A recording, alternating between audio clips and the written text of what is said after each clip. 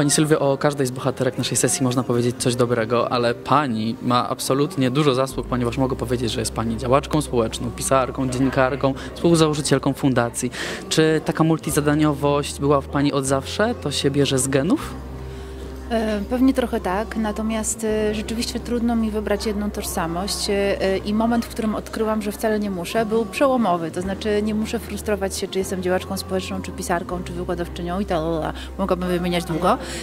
Mogę łączyć te różne funkcje, nie tylko dlatego, że jestem w stanie ogarnąć je czasowo i po prostu logistycznie, ale myślę, że w pewien sposób te moje funkcje społeczne się jakoś nakładają na siebie i mogę powiedzieć śmiało, że na przykład do literatury albo choćby publicystyki e, moje doświadczenie działaczki społecznej wykorzystuję dość często, e, a to oznacza, że te tożsamości nie wchodzą e, w jakieś niuanse ze sobą i nie szkodzą sobie nawzajem. W tym sensie no, mogę być tym, kim chcę być. Ale pomaga też pani mamom. W 2006 roku powstała fundacja, która właśnie wspiera kobiety, które już mają dzieci. Wydaje mi się, że wiele młodych kobiet nie wpadłoby na to, żeby pomóc właśnie mamom. Skąd ten pomysł? Czy dlatego, że pani wtedy już miała własne dziecko? E, Kiedy powstawała Fundacja Mama, mój syn miał prawie 3 lata e, i przesiadał się z wózka, już zaczynał chodzić e, samodzielnie. Natomiast ja pamiętam ogromną frustrację związaną z barierami architektonicznymi, które na każdym kroku spotykałam. Pomyślałam sobie, że to noszenie wózka, a nie pchanie go przed sobą, tak mnie frustruje, że muszę coś z tym zrobić. I nie wystarczyło mi tylko i wyłącznie marudzenie e, i gadanie między innymi matkami, ojejku, rzeczywiście, a znasz to przejście, schody zamiast windy, wysoki krawężnik, krzywy chodnik.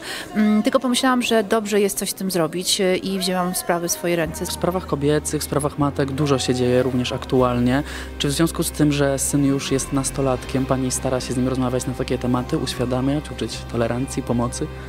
Każdy, kto ma nastolatka w domu wie, jakie to jest trudne. Mam też to pytanie, bo pewnie jakiś bunt. E, oczywiście, że jest bunt. E, e, Ja staram się mieć z nim dobry kontakt e, i, e, i zawsze mam problem, e, e, czy wybrać kontakt e, kumpela, kumpel, czy mama, syn. E, Natomiast mój syn bardziej niż wizualnie to idzie w taki bunt typowy, nastolatkowy, e, który polega na tym, że on wie najlepiej, jak wiemy, E, a że jest wyższy ode mnie, to bardzo trudno mi na niego wrzeszczeć. Muszę tak podnosić głowę do góry, e, co jakby umniejsza mój autorytet. E, A ponieważ zdarza się. no, no, oczywiście, jestem człowiekiem, nie robotem. E, natomiast e, no, wszyscy też wiemy, że wrzaski, e, jakieś kary, nie wiem, e, e, pretensje i szantaże no, nie, nie, nie przynoszą żadnych rezultatów, jeśli chodzi o, e, o nastolatka w domu, więc e, trzeba znaleźć inny sposób. Te sposoby są różne, bo też zmienna jest psychika e, człowieka w tym wieku. E, natomiast no, zawsze musimy szukać jakiegoś porozumienia, mieszkamy razem, nie ma to tamto.